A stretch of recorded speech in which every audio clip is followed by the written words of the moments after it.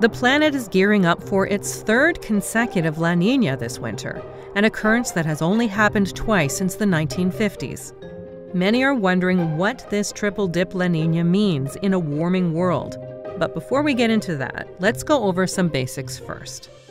The El Nino Southern Oscillation, ENSO, is a recurring climate pattern that has three phases El Nino, neutral, and La Nina.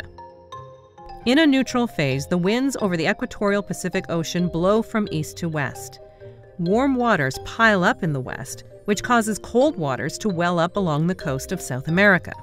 During El Nino, the west blowing winds weaken and allow the warm water to travel back towards the east, bringing a shift in weather patterns along with it. During La Nina, the normal east to west winds intensify, pushing the warm surface waters even more strongly towards the west and causing even more cold water to well up from deeper in the ocean in the east. The whole cycle for this phenomenon is about three to seven years. Um, it varies, but around that range. So it's quite rare to stay in one state for this long.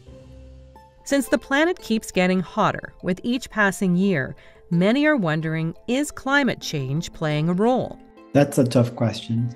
I think there's a lot of debate still, and what climate change could do to this phenomenon that we call uh, El Nino Southern Oscillation.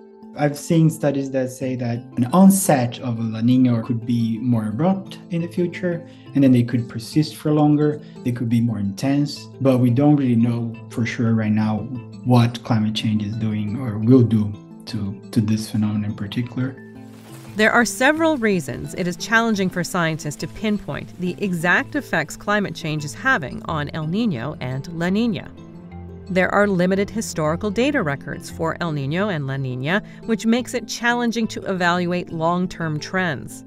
It is also difficult for computer models to separate the naturally occurring rise in sea surface temperatures during El Nino from the warming that has occurred due to climate change. One thing that I think that we know for sure is that La Nina and El Nino, they all create extreme events elsewhere. And we know that climate change will impact extreme events. So, what will happen in the future likely is that you're going to have a drought because of ENSO or you know a flood because of La Nina, and that event is going to be slightly worse because of climate change, right?